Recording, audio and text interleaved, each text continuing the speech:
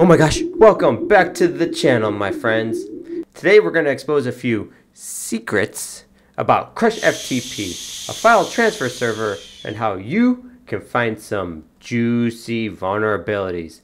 So make sure you hit that like button because who else is going to show you these secrets? Nobody, that's who. So in a recent statement, an official from Crush FTP said the following. We have seen a customer who was already patched who was probed for this vulnerability.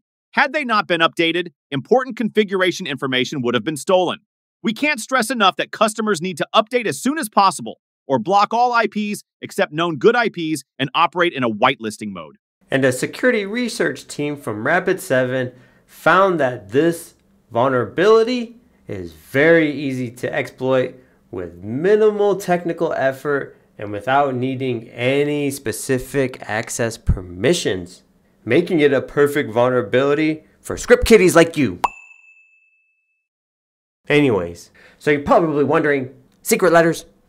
Spill the tea already. Okay, so first we need to search for crush FTP and this string from hunter.how is exactly how we're gonna do it. Okay, so now we need to run a special Python script that will download these domains and IP addresses for us because we can't do anything with this information if it's stuck in the web browser. So now once we have our target list, we need to create this special bash script that I made to find versions of Crush FTP below 11.1 because the vulnerability is patched after that. So now once we got our target list of versions, we need to identify the file read vulnerability in Crush FTP servers by checking if certain files can be read without proper authentication. So that means we first need to establish an anonymous session with the Crush FTP server. Then we want to send some commands using the Crush FTP API to see if certain files can be read without proper authentication. So if the server's response includes content from these files, it indicates that the server is improperly protecting them signifying basically the vulnerability exists.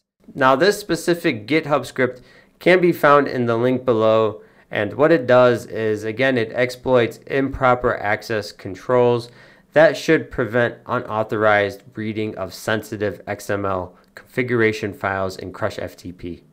So if an attacker can read these files, they could gain information about the server configuration, user accounts, and other sensitive data that could be leveraged for further attacks. So you guys know where to find me. Hit me up in the comment section. Find me somewhere out there on Discord. Check out this other AI video. Love it or hate it, the journey is yours, and I'll see you guys out there on the hunt.